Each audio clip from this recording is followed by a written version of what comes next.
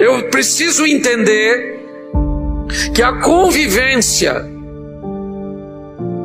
que o relacionamento, que a proximidade com determinados tipos de pessoas podem ser tão nocivas, tão tóxicas, tão danosas, que pode me levar ao fracasso.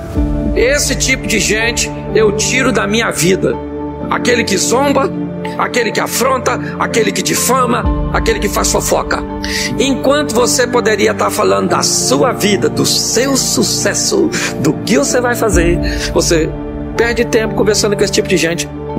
Tudo que vem falar é da vida dos outros. Tem gente que só chega perto para contar desgraça. Então saia de perto desse povo. Você, só de chegar perto dessa pessoa, você sente um mal-estar. E você percebe que ela sempre faz muitas perguntas sobre a sua vida. Então, por favor, não fale nada dos seus planos, dos seus sonhos. Até a promessa de Deus se cumprir em sua vida, boca fechada. Quando ela se cumprir, ok, mas no processo, não fale, principalmente para essa pessoa. Não conte, não fale. Amém? Não dê, como as pessoas falam por aí, trela para essa pessoa. Não, fique na sua. E se ela vier se aproximar, querer puxar conversa, emite uma desculpa, pula fora.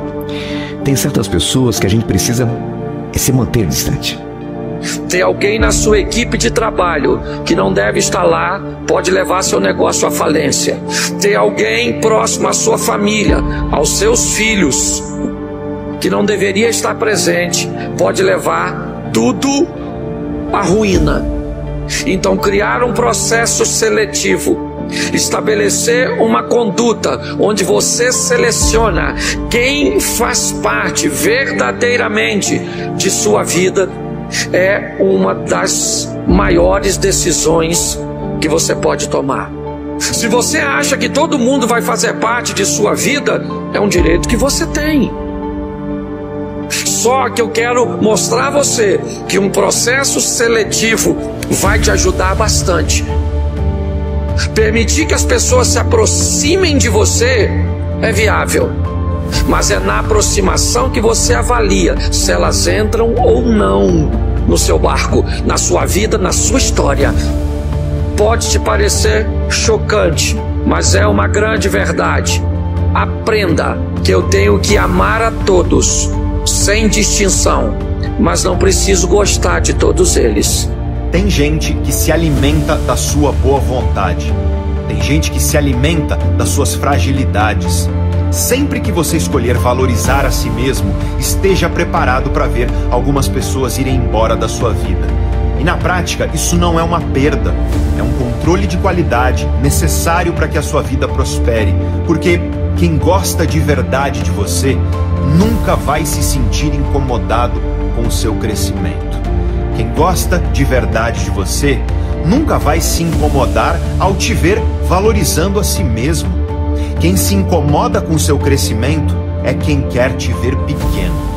Pessoas adoram registrar como você era, mas têm dificuldade em entender quem você está se tornando. É por isso que às vezes a gente tem que se afastar de pessoas do passado, não é porque a gente é mal e a gente agora está orgulhoso porque ganhou um dinheirinho e ficou falando, não, não é por causa disso não.